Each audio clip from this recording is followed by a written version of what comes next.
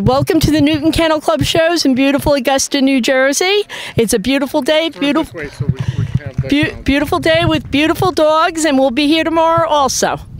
Uh, can you talk a little bit about the club, the story, what's the mission behind it? Okay, we're an AKC club. We've been in existence for I think close to 80 years. We were originally the Lake Mohawk Country Club, founded by a bunch of New York City people who lived in Lake Mohawk and Sparta. And in 1953, we changed the name to Newton Kennel Club.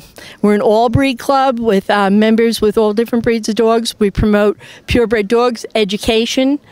Um, what else? Can you talk a little bit, like, say, I, am interested if I can do a, a sponsorship, uh, uh, maybe uh, package, like, what's what it takes to become a sponsor of a club, like, what's It's not a like, sponsor. you become a member. Okay. Uh, you have to have owned at least owned an AKC registered dog. Uh, we have people come to our meetings. Uh, they must attend at least two meetings, and then if they wo- they fill out an application. What about veterinarian clinic? Like my father, we have three doctors. We have like a, clinic and business. Like not we.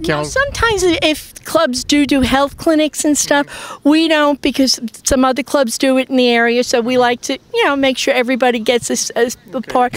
We we do town education day sometimes where we take a booth with our dogs and education material to sh- teach people about good pet ownership. What about like uh, like VetVittles? We could give samples of the product, uh, like uh, treats and medicine. Like would that uh, something that uh, be possible? It's not. It's not allowed here. on two shows a year, um, and we have to do certain things like have a match show each year and programs at our club meetings to educate people. What is the future of the club? Like how do you see the club in the next 20, 80 years? I probably won't be around, but hopefully it, the sport is getting some young people in it. People love to, see some kids. yeah, if doing it. It's a fun, it's great, and kids in junior showmanship can get scholarships for college through AKC, which is excellent.